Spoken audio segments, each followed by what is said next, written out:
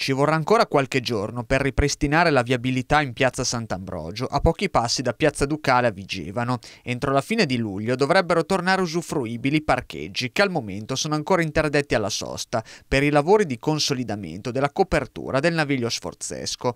Lavori che, anche a causa delle piogge, hanno avuto un rallentamento e che riguardano l'area accanto alla scuola media Bussi e al lato del mercato coperto. Al momento si può ancora accedere al parcheggio della piazza passando da via Rocca Vecchia e in uscita da via Decembrio, mentre non si può ancora passare da via Buozzi.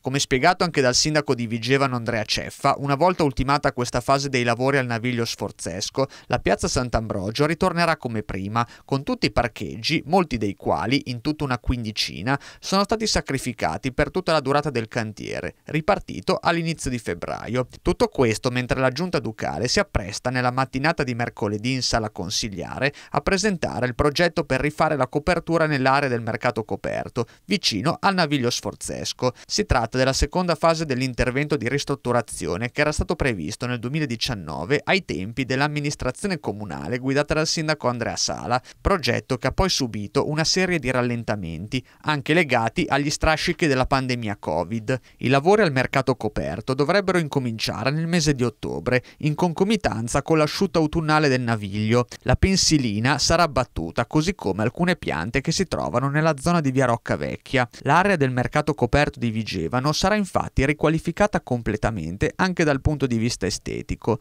con un camminamento nell'ultimo tratto di via Rocca Vecchia.